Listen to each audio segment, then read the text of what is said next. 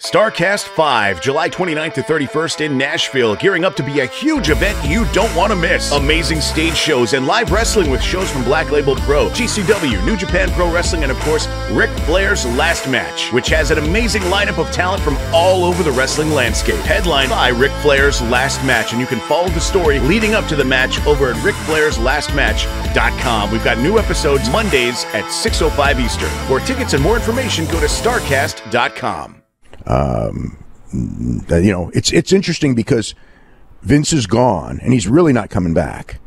But um, you know, what happens when something happens creatively that Vince disagrees with? I mean, is he is he going to go away and never call Stephanie about the business that he built and everything like this? Is he going to try to influence her and and influence Paul? Um, is he going to be a, a consultant? And I mean, not in, in, in, you know, he will never be listed as a consultant. He will. Not, I'm sure he will not be at any shows. He will not be tearing up scripts. Um, will he have influence as the lead shareholder? Um, probably not. I mean, I guess he, he was removed from the board of directors, which is, uh, you know, so he's gone. He's completely gone.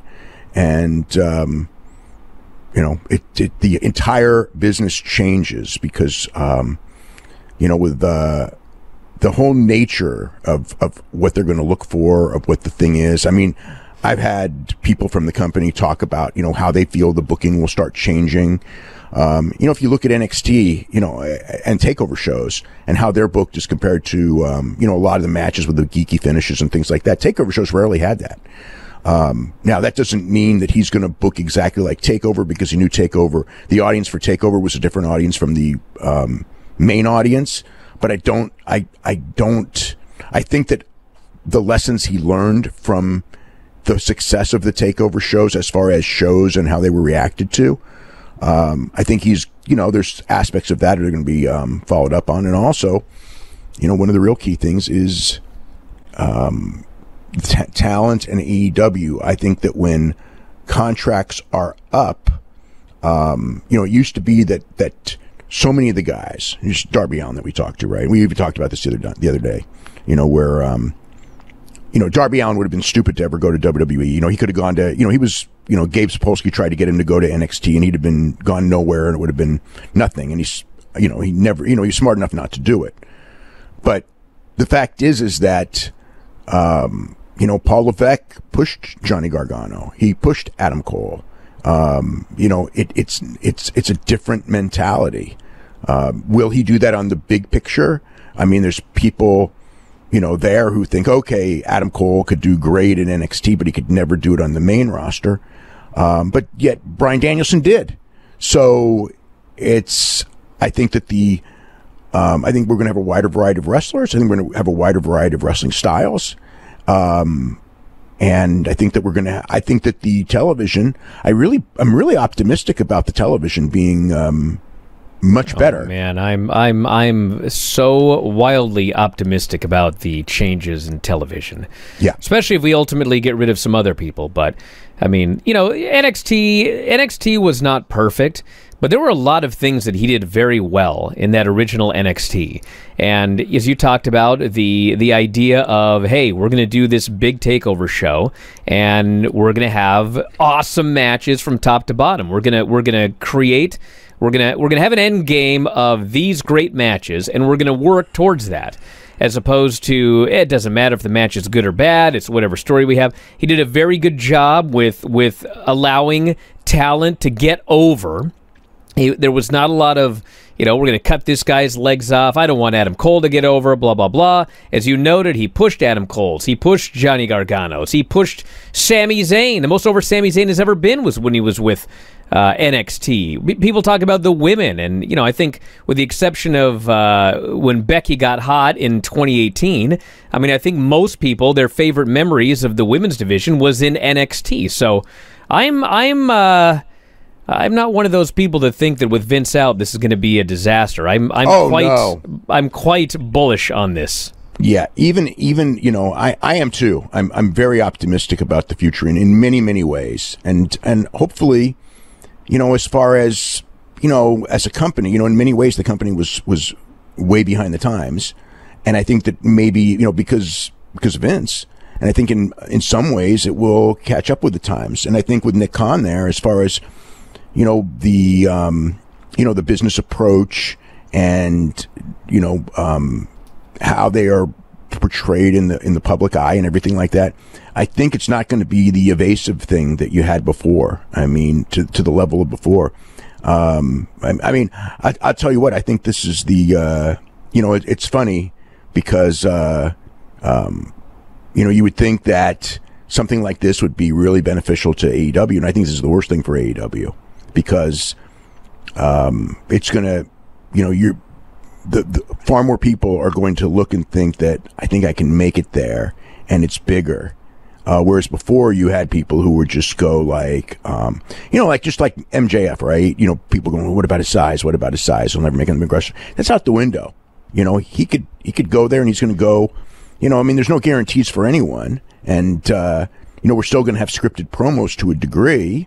Um, you know, that's not going to change, but um, you know the you know just the the nature of who is allowed to be a star um, that is that is going to be a lot more um, you know there's it's going to be well you're right but there's also there's also the aspect of it that you know one of the reasons that uh, we saw a big influx one way to AEW and not the other way is you know at the beginning there were a lot of there were a lot of spots available for people in AEW. It was a startup; they could use some big stars from the other side. Now they have so many people there that for that reason alone, I think that you've got more people now that are willing to potentially go the other way, like just exactly like Cody did. Like you know, Cody saw the opening. My God, I mean, what main eventers do we have in WWE that are getting pushed right now? He goes over there; he was an instant main eventer right out of the blocks. Because, and because if, of, because of because because he came from AEW.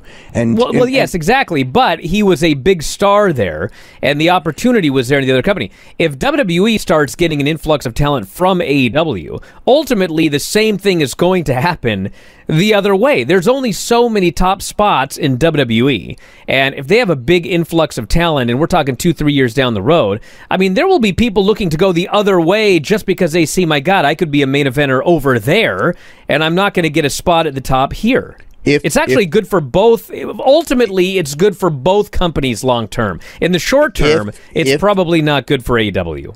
If AEW can, um, if AEW gets the t- gets a great television deal, absolutely, because then the money will be there too.